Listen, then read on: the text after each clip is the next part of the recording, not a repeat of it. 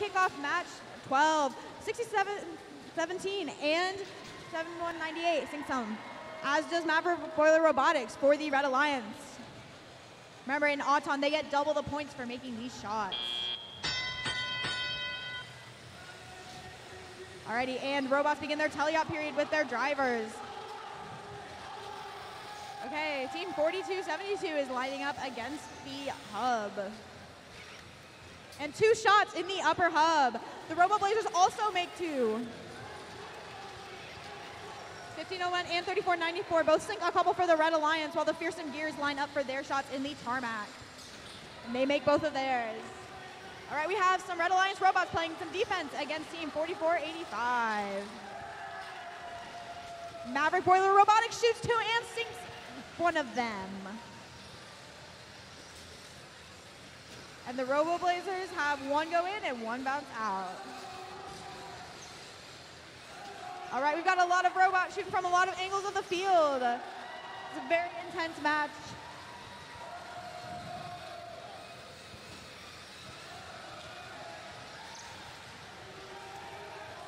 All right, Team 4272 swiftly intaking balls on the Blue Alliance side of the field. And we've got 4485 trying to block against 1501 shots.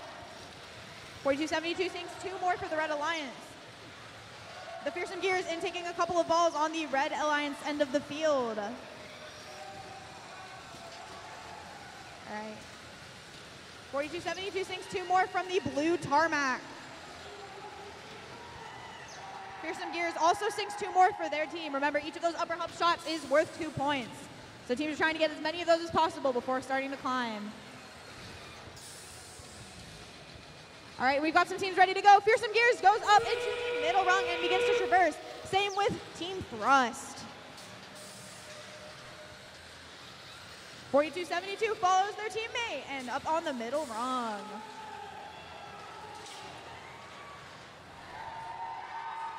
All right, the Robo Blazers also attempting to climb on the middle rung, while 54, 4485 continues to take shots to get some last second points for their alliance.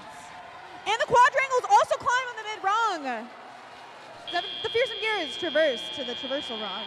And that is the end of qualification match 12.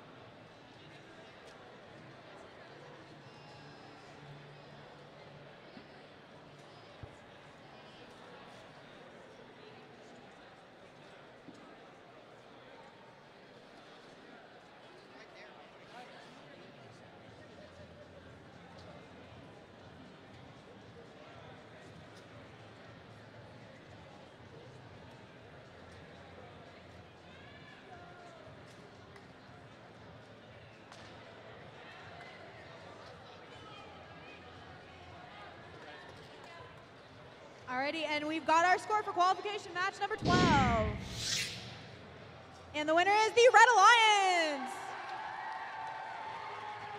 A new high score by a lot with 126. And all three of those robots shoot to the top three robots out of the competition.